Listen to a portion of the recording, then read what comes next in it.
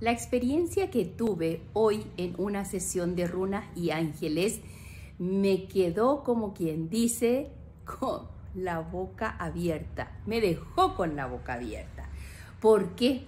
Porque hay algo tan interesante con el tema de las runas que ellas nos hablan o nos transmiten información que no es todo color de rosa. A ver, te explico un poquito esto. Casi siempre las lecturas de cartas de ángeles y el tarot angelical, en mi caso, cuando yo estoy dando una lectura, los ángeles siempre son muy dulces, muy tiernos, nos muestran las diferentes situaciones, pero nos dan ese toque tan amoroso, tan, eh, no sé cómo puedo decir, tierno, y a veces no nos llevan a esa raíz tan profunda, tan oculta y tan secreta. Con las runas sí nos vamos a esa profundidad, a ese secreto y las runas te dicen las cosas tal cual son.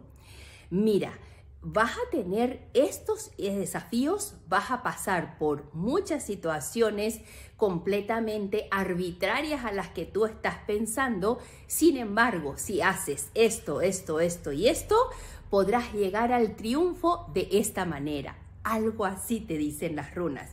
Y de verdad yo me quedé con la boca abierta con el tema que estamos estábamos tratando con este paciente y me sorprendió cómo le dio en el ojo, digo yo, en el blanco, sobre la situación que estaba llevando en el tema de este, querer vender una propiedad y cómo poder hacer esa negociación, etcétera, etcétera. Las runas, como digo yo, sin pelo en la lengua, te dicen, las cosas van a ir así, así, así, así, pero puedes hacer esto, esto y esto. Y como los ángeles nos dicen que nada está escrito en piedra, ahí entra como la energía angelical a decirte, si tú haces eso que la runa te dice, además agregado esto, te va a ocurrir esto. Porque recuerda que una lectura de runa angelical es trabajar con runas vikingas, trabajar con runas arcangélicas y trabajar con runas angélicas.